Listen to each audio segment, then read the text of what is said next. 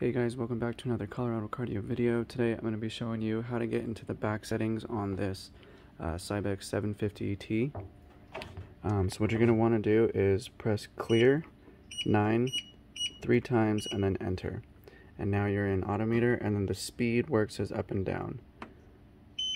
So you can go to hours, starts, moves, and errors.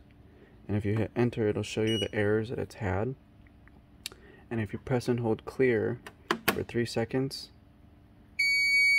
it'll clear the errors. So now it, it, there's no problems with it.